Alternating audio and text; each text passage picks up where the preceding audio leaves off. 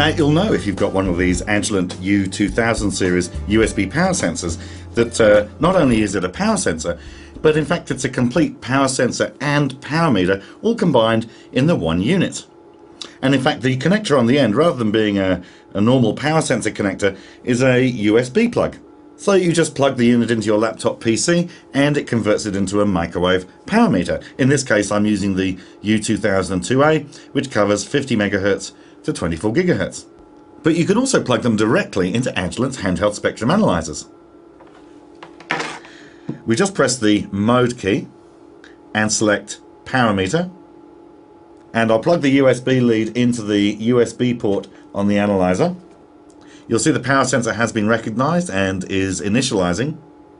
And it's a good time to point out that unlike a normal power sensor meter whereby you have to uh, manually enter the calibration factors for that particular sensor into the meter to get an accurate measurement, uh, with the U2000 series the power factors are automatically loaded in, they're stored in memory inside the unit. Plus, you don't have to uh, zero or calibrate the sensor, the, it's auto-zeroing, auto-calibrating. So the sensor is now recognized and it's all working. So let's connect some RF to the sensor input. Now you may ask the question, why would we want to use one of these microwave power sensors with a handheld spectrum analyzer? Well, there's a couple of good reasons. First of all, here I've got a 7 gigahertz spectrum analyzer, but in fact I'm measuring a microwave signal up at 21 gigahertz. So first of all, it extends the frequency range for amplitude measurements of the RF spectrum. Secondly, a power meter is always going to make a far more accurate measurement than any spectrum analyzer ever can. So with our handheld spectrum analyzer and the U2000 sensor, we can make RF level measurements with the ultimate accuracy. Now don't forget, before we start making an accurate measurement, we do need to tell the analyzer what frequency the signal is that we're measuring so that it can load the correct calibration constant. So I'll just press Measure Setup and select Frequency and I'll enter 21 gigahertz. And now we're making an accurate calibrated power meter measurement of our 21 gigahertz signal. Now, as well as the graphical display here with the meter, you'll see as the level goes up and down, such as in the situation of microwave fading, we can see the level decreasing and increasing.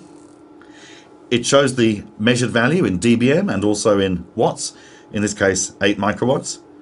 It also shows the minimum value or minimum amplitude that the unit has seen since we started making the measurement and also the maximum. Again, very useful if we're trying to characterize path loss or fading situations. But what's even better, if I press return and press mesh display, you'll see here that we can change the display mode to a chart recorder. On the chart recorder display, we have time on the x-axis and power in dBm on the y-axis. So if we're trying to track, again, a microwave fading situation, as the level drops down, you can see that we are recording that on the chart recorder display. And of course we can then save that historical record of the changes in microwave power level to the internal memory of the analyzer. If you'd like further information on these products, including demonstration guides, operating manuals or application notes, please visit the website shown below.